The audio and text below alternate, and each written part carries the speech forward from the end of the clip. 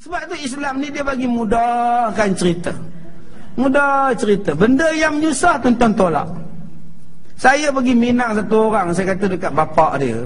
Saya datang ni abang, nak minang anak abang. Jadi budak ni pun abang kenal, anak abang pun kenal dia, berdemo pun mencinta, abang tolak gaji dia banyak mana. Jadi datang dia pun dah suka, jadi bagi saya abang, kita bagi langsung je lah abang. Jadi letakkan satu harga yang munasabah atau munasrawak, kita pergi kahwin je lah.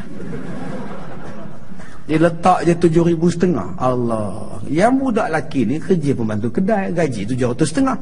Nak dapat tujuh ribu setengah tu sepuluh bulan tuan-tuan.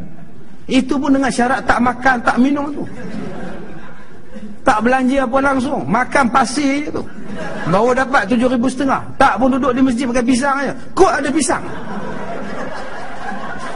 Tujuh ribu setengah hantaran untuk dia. Belum masuk lagi kenuri kendara rumah si lelaki ni pula. Macam ni kita dah tetap. Jadi kita dah mesyuarat adik-beradik saudara mara. Jadi kami dah setuju 7,500.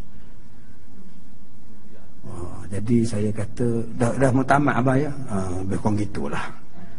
Hmm, tak apalah. Saya balik bincang dululah. Ah, oh, sila makan ustaz makan. Makan bihun makan. Tiga hari dia datang balik. Jadi ke ustaz? Rasa tak jadilah bang. Saya dah kata dah gaji budak dia tujuh ribu setengah. Dalam bank dia pun tiga ribu setengah. Ya ada. Abang letak tujuh ribu setengah.